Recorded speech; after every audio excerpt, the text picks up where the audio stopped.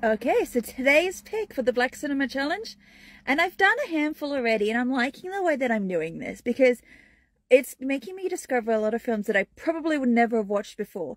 Also, make me realize how much more films there are outside of the little bubble that I know, which is the best part of this. So, next topic that I am picking is a black sci-fi film. So this one was easy purely because I was like, there's 20 films that I've seen that have all popped to mind, but I also know that I wanted to gravitate away from films that I already know, like Home, like Blade, like Men in Black. I wanted to stay away from those because I've seen those. We're good. I wanted to try and challenge myself to watch something that I hadn't seen before. So today's pick, according to Google, this is technically a sci-fi film, so I'm going with what Google says, which is Blackenstein! God, this sounds fun. A war veteran whose limbs were medically restored becomes a killer when his physician's aide switches his medication. So I guess this kind of also makes up for the fact that I can't watch Blackula. Um, but yes, so it is also a black sub, black, black exploitation film. I think that's the word I'm looking for. Uh, so yeah, yeah, it's a horror, but it also technically is classed as a sci-fi. As you can see, it's on Plex, so we're going to head over to Plex and give Blackenstein a watch. Alright, so there's Blackenstein.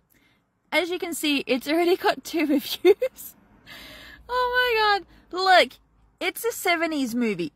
Alright? So you have to deal with the fact that it's a 1970s movie. You cannot expect 2024 masterpiece.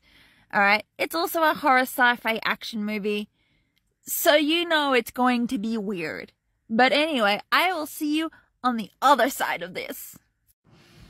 I'm only six minutes in, and I want to compare it to Rocky Horror, but like a knockoff Rocky Horror, as if like, you know that meme that goes around that says, "Can I have McDonald's?" and it's like, "No, we have McDonald's at home." Yeah, it's it's this. This is the McDonald's at home. or oh my god, like he's got this big fancy ass house like is this white scientist with a big fancy ass house and like all of his laboratory equipment is just bodgy as bodgy can be. oh my god. So like I'm like this is this is the wish version of Rocky Horror, but without the music. There's no music, so don't stress, it's not a musical. But like Rocky Horror Is Blackenstein a good movie? No. Is Blackenstein a bad movie? Also, no. Is it a fun little movie that you watch just for the sake of watching? Hell yeah. Look, it's a 1973 movie, okay? They did what they could do with what they had. You have to remember that, okay? No matter what movie came in the 70s, they did what they could do. Yes, you could see that the Black, Black Blackenstein has his like little makeup peeling away from his face, and you're like, we know that's makeup.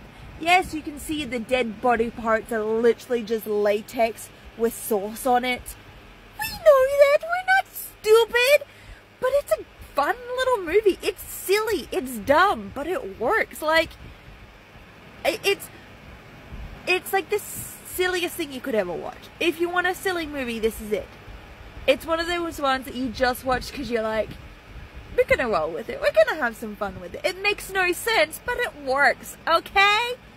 Don't knock it until you try it. That's the best way to describe Blackenstein.